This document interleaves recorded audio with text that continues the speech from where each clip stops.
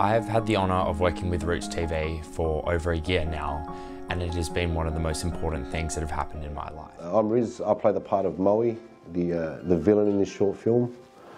Um, it seems fitting, seeing as that my past sort of was the same outlay. I played a villain in real life. Um, it's really good to put back in and pay it forward by going the right way about it and doing it on screen for these younger fellas. And in the movie I'm playing their character Adam.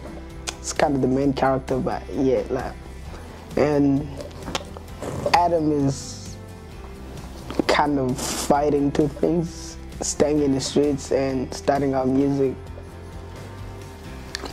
Yeah, and trying to like help out his mom. Roots TV reaches out to entertain and educate so many people in the community from so many different backgrounds and walks of life.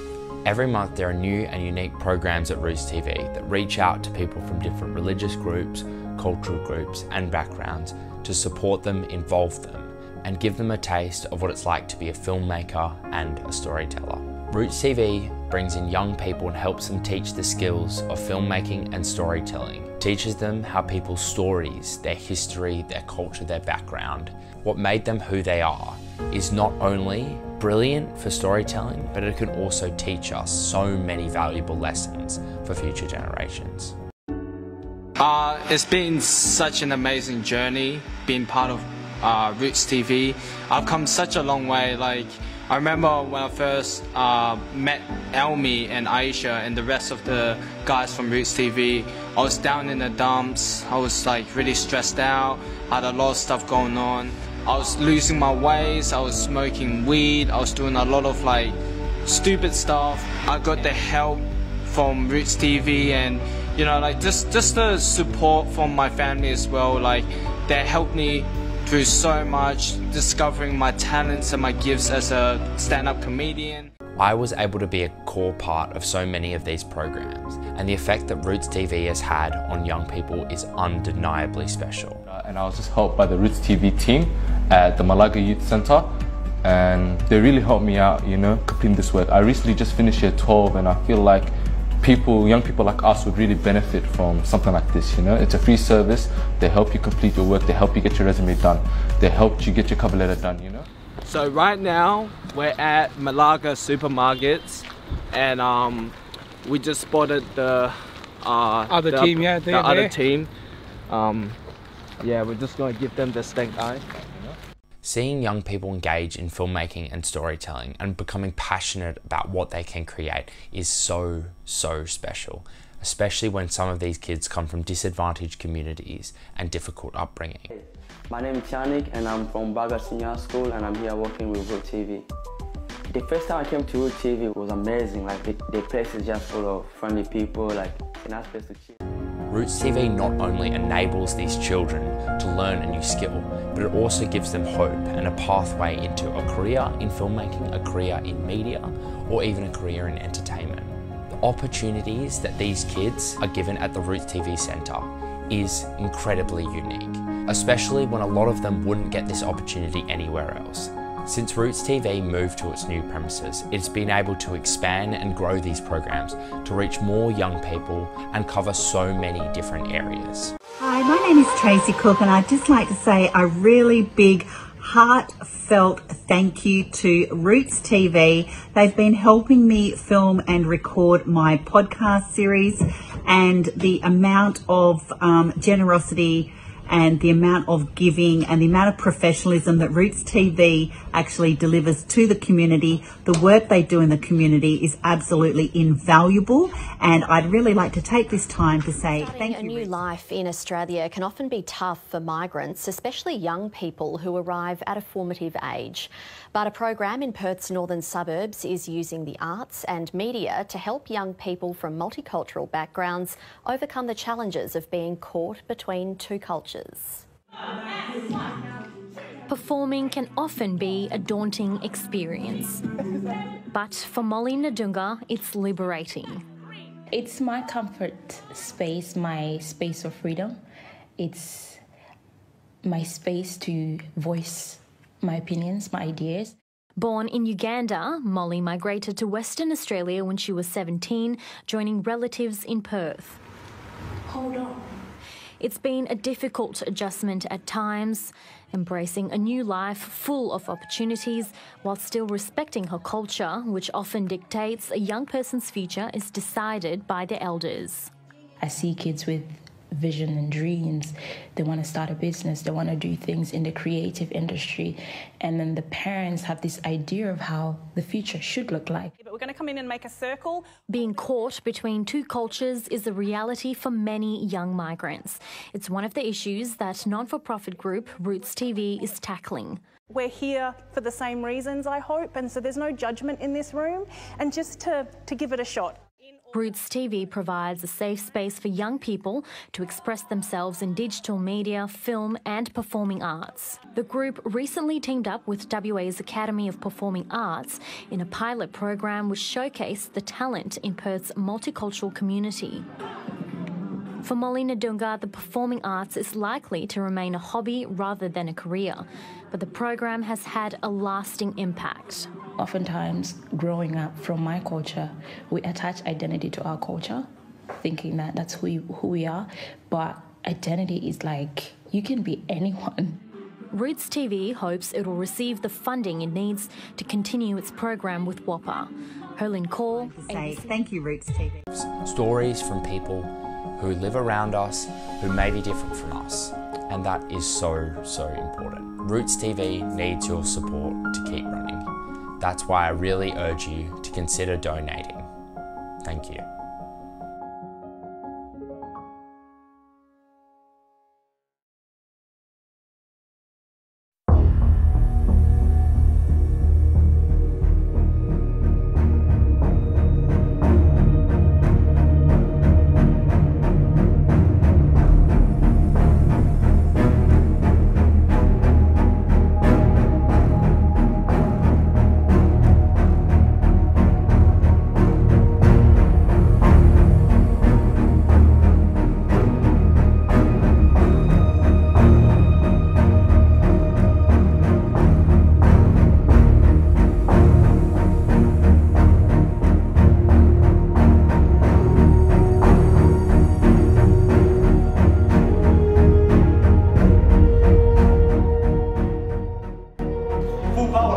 Everybody was locked on. Everybody was switched on. Nobody called, even people on the bench, everybody that was not watching the game, including the fans, the people that are going to be supporting you guys up there. Appreciate them.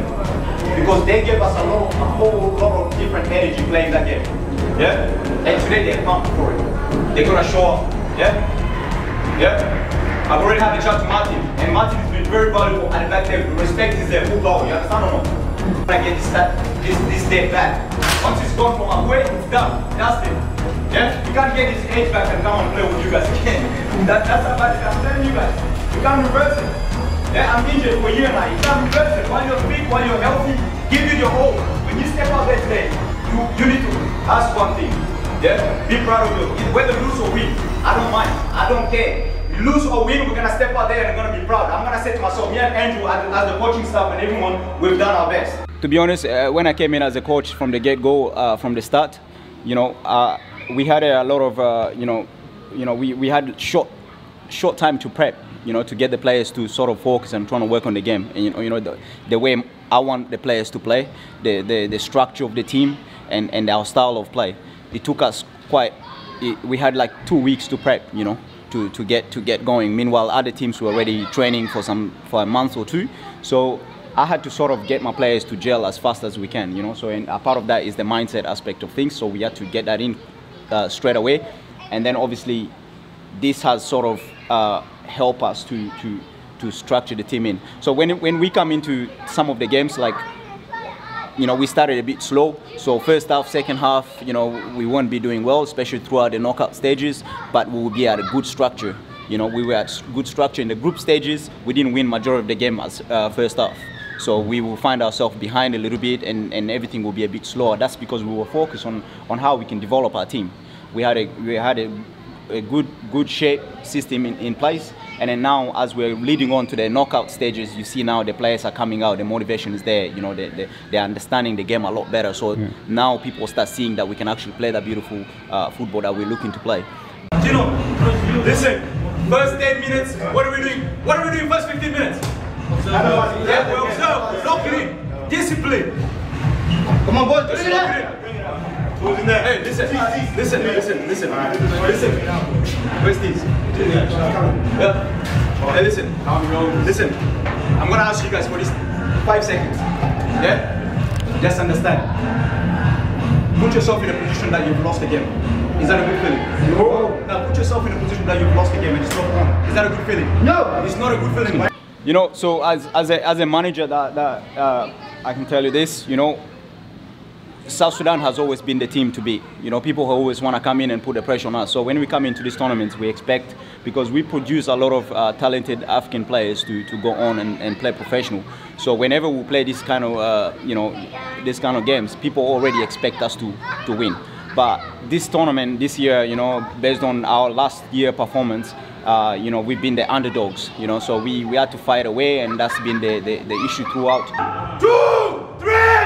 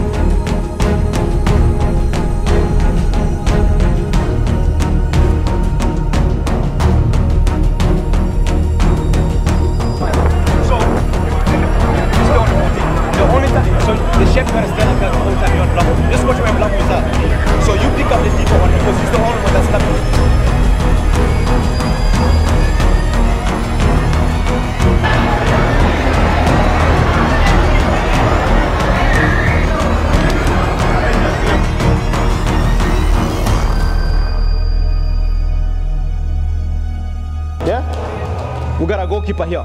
Yeah? The last option, we have to eliminate this guy. You can identify now what's happening. Even right from here, he press. The moment you go here, he doesn't press, he stop. Yeah? Yes or no? Yeah. So now what they're doing is they're gonna come in, potentially they're gonna try and roll on us with two. Because I know that they were already doing that a little bit. Yeah, they're gonna try and roll with us with two. Because what they're doing now is they is cheating a little bit. Yeah? So they don't want you to actually get out now. They is cheating up a little bit. So now who's your next out? Composure, man. But the next one has to be so important. The next decision is so important.